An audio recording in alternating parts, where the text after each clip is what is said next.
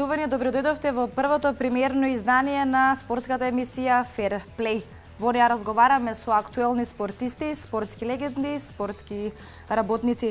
Темите кои што ќе ги содржи оваа емисија ќе бидат нормално спортските актуелности, успесите на клубовите се разбере и на спортистите кои како печат ги оставаат во спортската историја. Овде не би должела многу. Јас сум Елица Радевска, а спортската емисија Fairplay на моје големо задоволство, се надевам и ваше, ќе имате можност да гледате секој понеделник со почеток во 20 часот и 30 минути. Некако по инерција кога ќе се спомене Велес, веднаш се споменува и ракометот, а кога ќе кажеме ракомет, веднаш помислуваме на Пепи Манасков.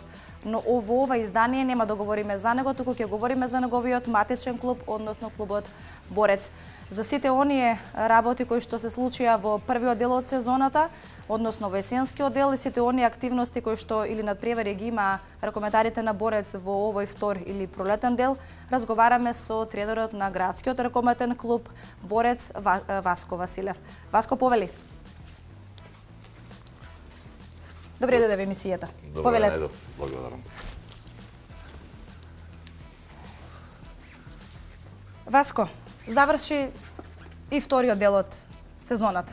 Еве, на почеток, каква оценка ќе дадете генерално, подоцна ќе разговараме и за сите оние работи кои што се случија како во првиот, така и во вториот дел. Дали може би имате нешто што би промениле доколку еве сега се вратите на нас? Добро, значи пред да ви одговорам на прашањето да ви посекам успешна и работа, што подолготрена. Чест ми што баш нашиот клуб, ракометен, градскиот ракометен клуб Борец е прв гостина во вашето студио. Се надевам дека голем број на спортисти ќе продефилираат во ова студио, како би јавноста во Велешка или регионална биде запознаена со спортските случувања што се случуваат. А, сметам дека една емисија од ваков тип ќе биде добра за апсолутно целата популација, затоа што спортот, од спортот може многу, многу да се научи, спортот може да да извлече многу добри работи. Значи, за тоа ја поздравувам, поздравувам овој, пот, овој ваш потват, за да ради популаризацијата на спортот. Беа разрази како и спорт.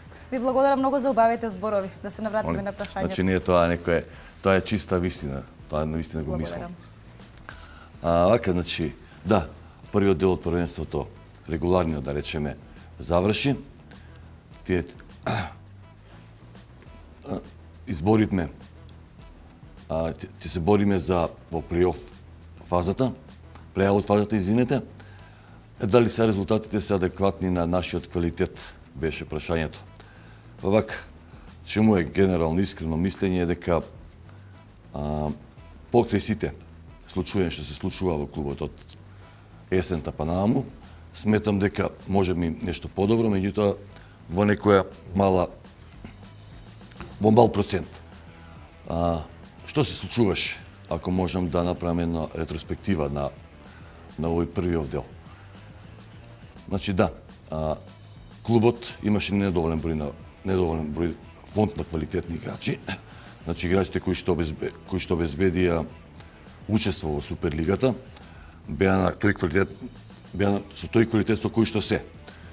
Суперлигата самата по себе бара а, далеку поквалитетни играчи и во таа насока клубот се обиде да да донесе некои играчи од Скопје. Пред тоа морам да кажам дека без контактирани сите играчи, велешки играчи кои што играат по другите клубови во Републикава. Не најдовме на не, не направивме договори со нив од разно разни причини, што објективни, што субјективни и мораме да бараме значи, играчи од околниве градови. Дојдоа, сада не ги бројам по име, меѓутоа голем број на играчи дојдоа тука, проба, видовме со кој квалитет располагаат тие и некој остана, некој си замина. Меѓутоа морам да кажам дека повеќето не задоволија вкусовите наши и амбициите на клубот.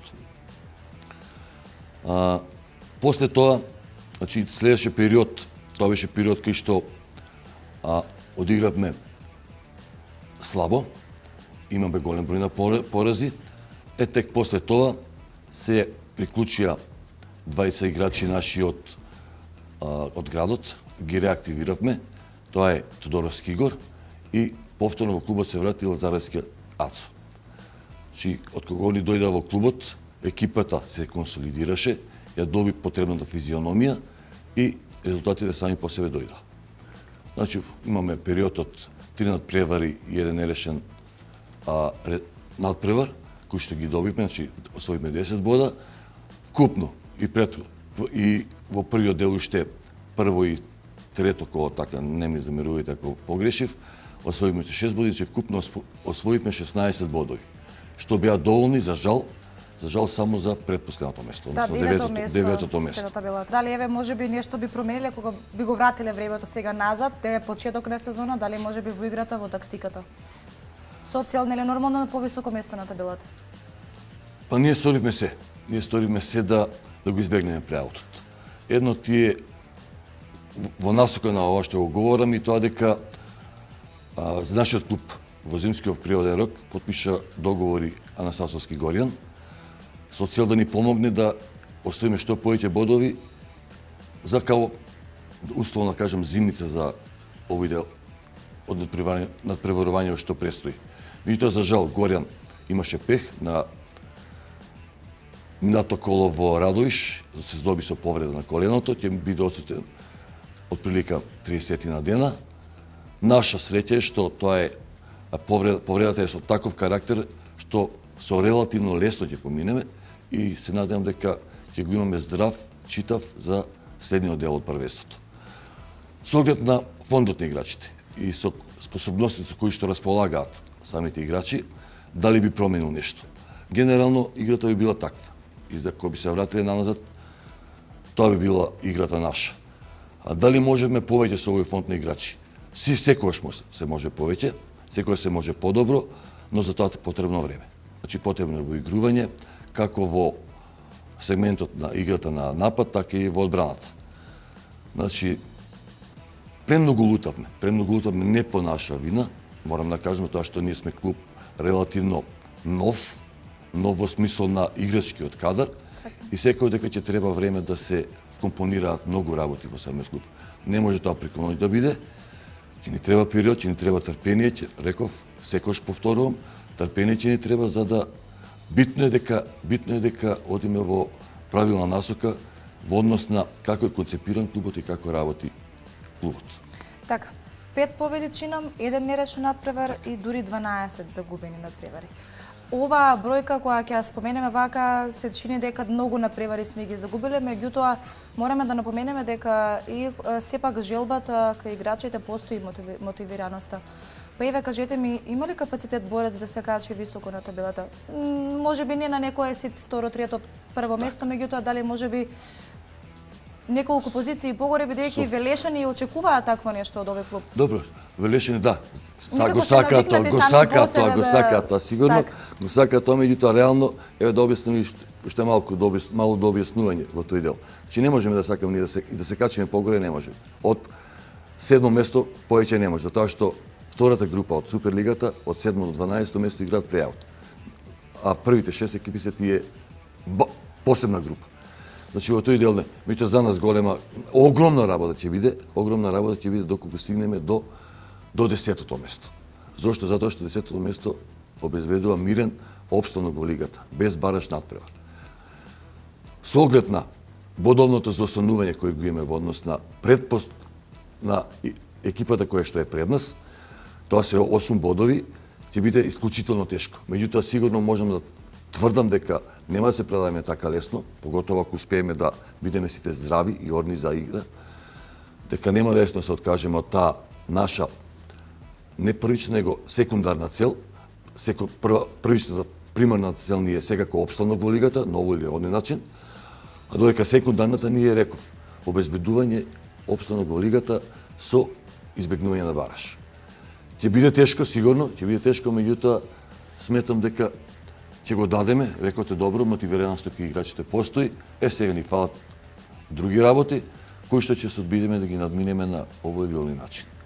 Така, Пред малку споменавме дека за поквалитетна игра токму клубот се погрижи да ги контактира оние играчи кои што беа минатата година кои што се изборија од прва лига да влезете во оваа суперлига да се надпреварувате. Колку нивното враќање и доаѓањето на играчите од страна придонесоа клубот да се најде на ова ниво каде што е денес? А играта сигурно е поквалитетна. Да. Значи огромна е разлика да се разбереме. Огромна е разликата во првата лига и во суперлигата. А не можеме едноставно да ги мериме. Да, сведоци бевме дека во првата лига бевте две, две класи, две класи разлика. И ако од, од тој аспект гледаме, сигурно дека има далеку далеку под, а, поголеми подобрувања или, или прогрес во самата игра. Меѓутоа, реков, тоа е фондот играчите, не дека не можеме по, повторно ќе речем повеќе, меѓутоа сметам дека сме тука некаде до не до максимум, дека блиску до максимумот. До максимумот, мислам дека ни треба уште доста да, доста работа и време секој ќе ни треба повторно ќе речем за такво нешто. Така. Овде кога ги спомнавме минатата минатата сезона, убаво би било да се да се навратиме иако е еве време и момент да се говори за Суперлигата, меѓутоа убаво би било и да се навратиме на назад на утакмиците пред во првата лига кога предонесоа да се врат да се да постигне таков успех. Тогаш можеме да бидеме сведоци дека велешката публика доаѓаше на надпревари постојано ве бодреше. Па добро, значи ланската година имаме, меѓутоа јас сметам дека годинава на неколку надпревари имаме до солидна посетеност и што е за мене многу побитно, а тоа беше публика која што искрено го сакаш, го сака клубот, тоа можеме да го заклучиме од нивното однесување, од нивното спонтано ракоплескање и бодрење на нашиот клуб. Доека во минатото не дека немал, напротив имало далеку по повеќе бодрење и повеќе елани и поголем жар, се следал на преварите и така натака. Меѓутоа, а, гледајќи го однесувањето на публиката, сметам дека се движиме во таа насока значи да да дојде што поголем број на публика и, и искрено од срце најува за својот клуб, за клубот кој што го сака. Значи за традицијата во спортот во градот, така. не подценувајќи ги другите спортови секако. Така да, се Велес важеше за еден спортски град така. каде што во сите спортови имаше публика, без разлика дали станува збор за ракомет, кошарка, одбојка. Фактот дека фактот јас еве на брзински размислувам дека борец во ракомет има освоено и купил Македонија и шампионат на Македонија, тоа е 94-95, тоа беше првенството, и 93-94 купот, говори дека е тоа така. Така. Многумина се запрашуваат, Раде Стојановиќ дојде во Борец, одигра два надпревари, замина. Што се случи? Многумина велешани, се како што и јас се вбројувам во тие, се прашуваме зошто се случи тоа, дојде, подпиша, мислам подпиша. Неговиот договор всушност беше и отворен договор, меѓутоа што се случи? Така, тоа што сакав да ви го кажам, значи он дојде од чисто добра волја. Да ни помогне неколку надпревари и може би ќе останеш уште надпревар. Два доколку не се случиш инцидентот со Прилеп. Ти знаете, знаете тогаш дека доби црвен картон, И сметаше човекот едноставно, негова одлука беше дека не сака да се бламира на овие години, сака да си го задржи достоинството, да замине на како што треба да замине, значи достоинствено и спортски, а не да значи па, спазите он е играч 38 години, не да речете за збор. И неговото минато, неговото минато не му дава таков комодитет да се однесува кон помладите играчи така. Меѓу а, а младите играчи доправа доаѓаат желни, орни, борбени, мотивирани. И во на таква ситуација не знам колку можеше да се снајде. Увиде, многу исправно увиде дека не ќе биде од кој некаква помош за нашиот клуб и си замита. Така, дали може би еве ова прашање може неколку луѓе може ви го поставуваат многумина. Што ќе се случише ако во Борец имавме барем тројца како Раде Стојановиќ? А ја не би рекол са, извинете, меѓутоа не би рекол ко Раде Стојановиќ. Ние а, ние можеме да имаме и поквалитетни играчи во моментов, значи. Така. Да, во млади играчи нормално. Помлади играчи далеко од Раде, кои што далеко повеќе може да дадат за клубот. Ние тие играчи ги имаме, меѓутоа чекаме времето да помине и да дојдат во нашиот клуб. Се надевам дека тоа ќе се случи периодот што престои, односно летниот природен рок, по завршување на самото првенство. Така. Имаме играчи настана кои што навистина вредат и би било огромна, огромна помош за за клубот И тогаш не би разговарале во оваа насока, тогаш сигурно би разговарале во насока за што повис, освоено повисоко место, да, а не за а не за опстанок во лигата. Така. Се надевам дека наскоро ќе дојде тој Так, за плановите на Борец ќе разговараме подоцна. Она што, како што рековте предходно, оние луѓе кои што беа заслужни за а, може би квалитетната игра, меѓу нив го спомнавте и Горијан Атан, Анастасовски, се извинувам, па не можеме да не го споменеме и овде. Ние го имаме денеска почитувани во нашето студио. Јас го поканувам, повели Горијан, директно од Франција во Велес и во Борец. Повели. Хвала. Добре дојде во нашето студио. Добро Недор. За прв пат, овој пат, бидејќи сме и ние нови, како што напоменав премиерно издание на Fairplay. На почеток би те запрашала, бидејќи твојот тренер спомна дека имате повреда. Како сте сега селија во ред со повредата? Па е незгодно се повредив е, во Радовиш. Значи ги спуштив последните два надпревари. Меѓутоа за некои две недели би требало да се опорам.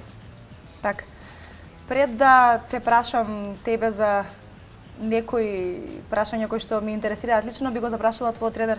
Колку беше важно, колку помогна Горијан во надпреварите на Борец? Па јас, а, за жал, за жал не помогна многу. Причината е просто едноставна, неговата повреда. Меѓутоа јас гарантирам. Значи, гарантирам со огромна, огромна сигурност дека а, доколку Горијан го заврши на во Радовиш, ние од Радовиш ќе се вратиме со три години. Так. Доколку он играше во неделата, во саботата последниот надпревар со Перис, дека повторно ќе го добие едно надпревар. Го Значи, он беше и за тоа донесен. Меѓутоа, не можеме против пеховите, не можеме против Тоа никој не може да го предвиди на некој начин. Не можеме Тоа да. е Значи се работи за една нетипична спортска повреда, не е значи тоа повреда од која сега јас како предпоставен и одговорен за нивната физичка подготвеност. Значи не е тоа из изместување на глушт, лакот, тоа е типична некоја да речем неспортска повреда, тоа е удар директен, физички удар, кај што страда неговата дел од неговото колено, за неговата коска. Така. Колку го споменавме овој надпревар со Пелистер, кој што го, го одигравте овде во Велес, резултатот беше 25 спрема 30. Да проговориме малку и за овој надпревар. Ајде. Какви беа прогнозите, што се случи и зошто загубивме? Епа една од причините, една од причините најглавни, а, да не елаборираме по-детално, а, се повредите на играчите.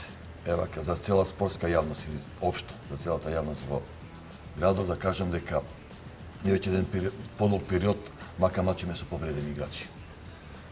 Колку за илустрација, а, Игнов Јупче, последниот две недели тренира со намален интензитет, да не речем 20 до 30%. Пореда слична на коленото, пореда која што има години намазат, ја влече. А Тодоровски Игор, кој што одигра прекрасно, одигра феноменално и со таа негова повреда во, на саботниот надпревар, исто така влече повреда од месец дена од прилика. На сето тоа не беше доволно, се повреди и горе. Значи, тоа се двајца играчи од, од надворешната линија и еден пилотмен. Така. Сите се носители на игра. Во на таква ситуација, ние остануваме со три или четири играчи од задната линија. Маневарот за манев... просторот за маневрирање е намален. Значи не можеме оноа што го имаме кој идеја да го спроведеме. Значи едноставно немаме ротации, немаме замени.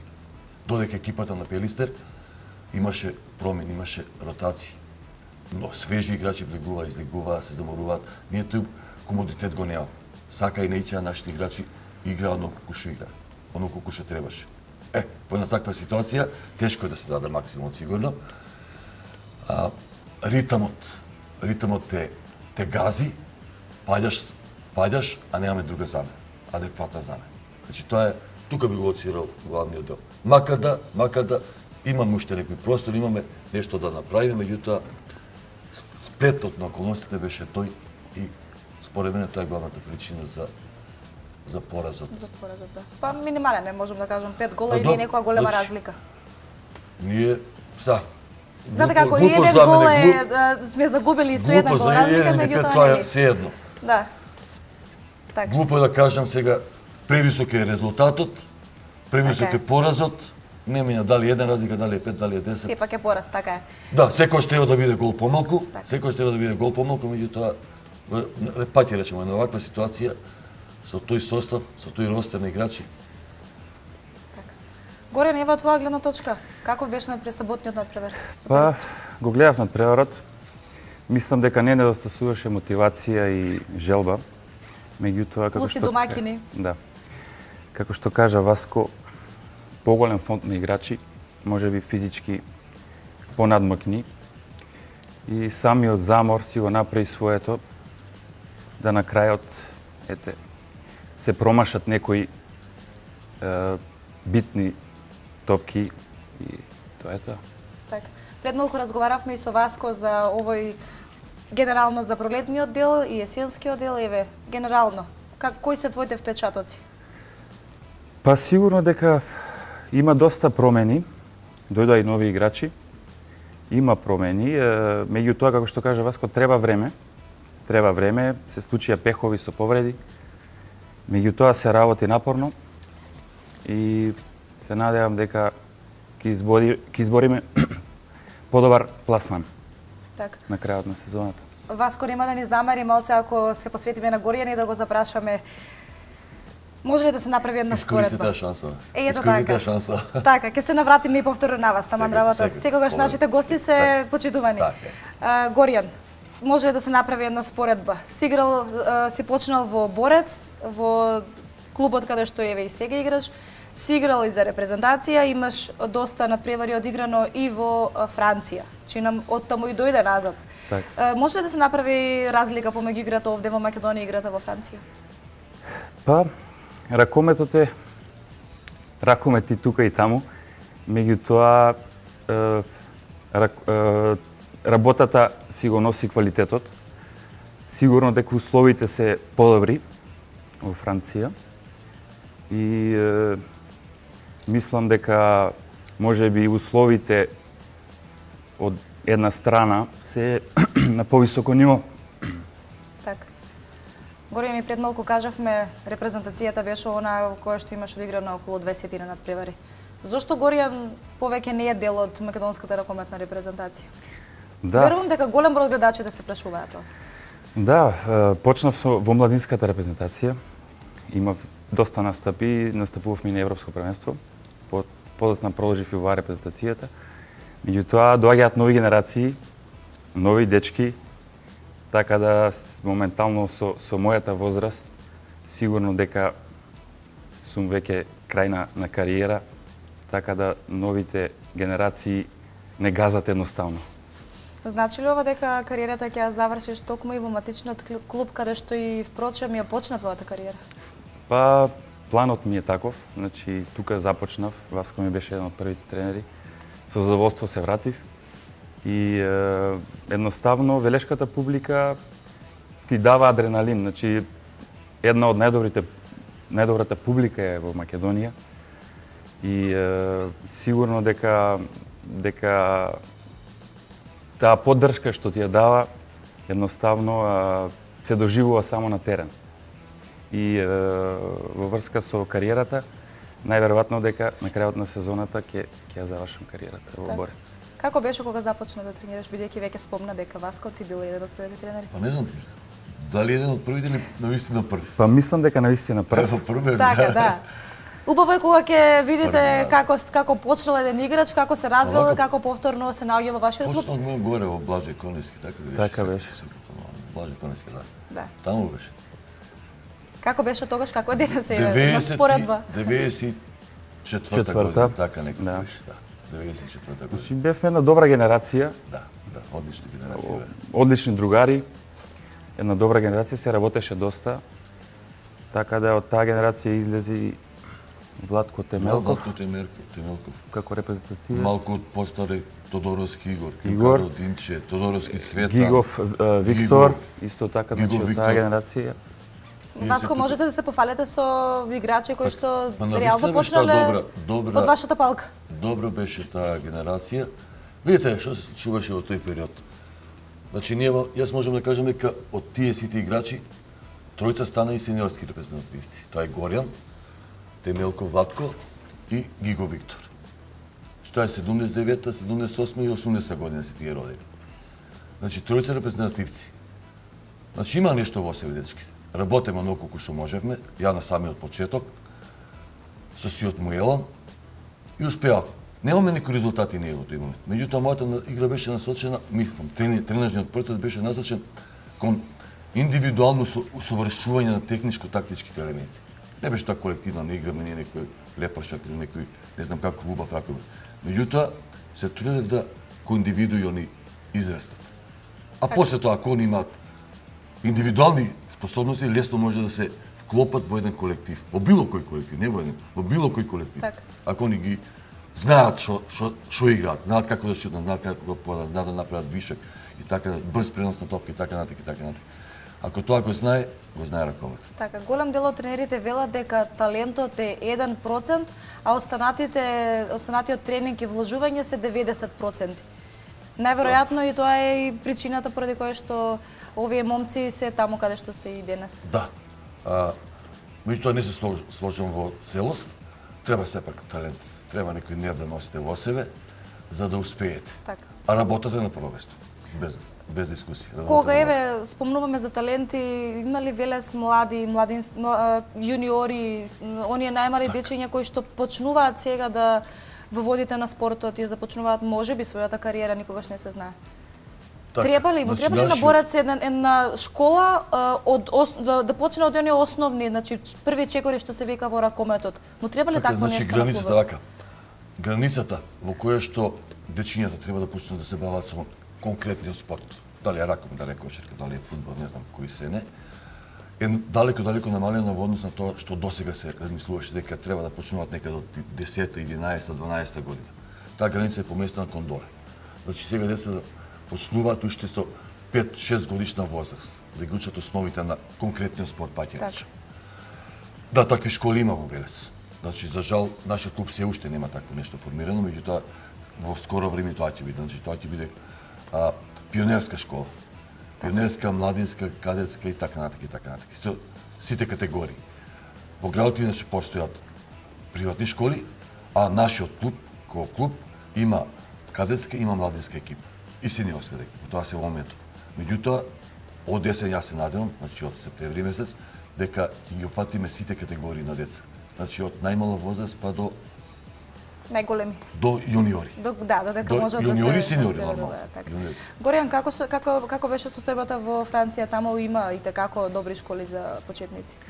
Да, во секој клуб постојат повеќе категории, од 7 па натаму, 9, 12, 14. Се работи доста. Сигурно дека инфраструктурата дозволува да да постојат сигурно и финансискиот дел. Так.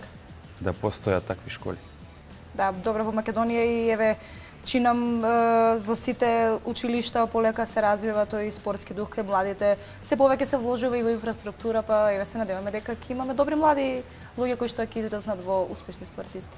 Она што ми интересира се плановите на клубот за понатам.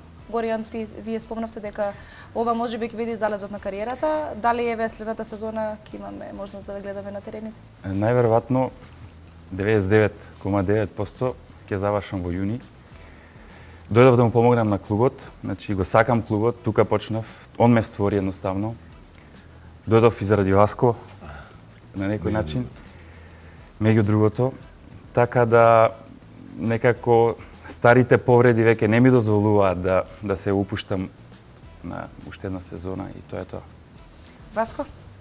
Амбициите на клубот се јасни и гласни. Значи, исклучиво со домашни играчи, значи со играчи од нашиот град кои потекнуваат. А така ги рекол има уште тројца четворица што играат настав. Да, тоа може да се забележи во и во екипата, во сегашната екипа дека сите играчи да. се Значи сите се велешени со исклучок на голманот Стојановски. Значи ќе се труди клубот, тоа е негова предел. Да, тоа бидат играчи од градот, повторувам уште значи. Имаме наставни играчи кои што огромни шанси имаат да дојдат во нашиот клуб, да се во нашиот со еден, со еден таков процес од исклучиво велешки играчи, Пак, пак велам, ние би, дал, би котирале далеко, далеко повисоко на прволигашката табела. Клубот работи во таа насока. Јас овде само би ви поставила уште едно прашање кое што мене лично многу ме интересира. Дали може би еве кога ги играте домашните надпревари овде кога сте домакини, дали може би велешката публика во последно време може и не е во голем број, меѓутоа се повеќе и повеќе расте бројот. Дали може би публиката ви е токму тој осми играч кој што ете на некој начин ви дава и елан и мотивација да победите, да освоите бод повеќе? Горијан кажа, адреналинот сигурно тогаш во тие моменти расте. Сигурно дека е неопходна помошта од публиката. Поготово искрената помош, па ќе речем. А, едно е да се игра пред полупразна сала, едно е пред празна, а друго е пред полна сала. Так. Сигурно дека мотивацијата тогаш на највисоко можно ниво и желбата за победа на највисоко ниво. Тогаш го даваш и последниот атом и повеќе од тоа, значи повеќе од колку што можеш, го даваш за да и напушти сало со крената глава. Така. Горија? Штета што, како што кажавме на почетокот, екипата не беше комплетна до крајот на сезоната, поради некои пехови објективни причини. Навистина, управата и општината застана зад клубот, значи направија големи напори, меѓутоа, ете, во некои чудни околности, не немаме резултати на, на тоа на тоа посакувано ниво. Меѓутоа, ние се доека математички имаме шанси да го избегнеме баражот, ние ќе ќе тренираме и ќе се бориме до крај. Јас ви благодарам за гостувањето, ви посакувам многу успех, тебе бидејќи спомена и претходно да не се навратувам, дека може би ќе биде ова крај. Ти посакувам успех понатаму во сите области, а вам тренер ви посакувам успех во плејаутот па подоцна и во следната сезона. Благодарам. Благодарам на гостувањето. Почитувани гледачи, вам ви посакувам пријатна вечер и се надевам дека ќе останете со програмата на К1 телевизија. Следната седмица нова тема. До тогаш, довидување.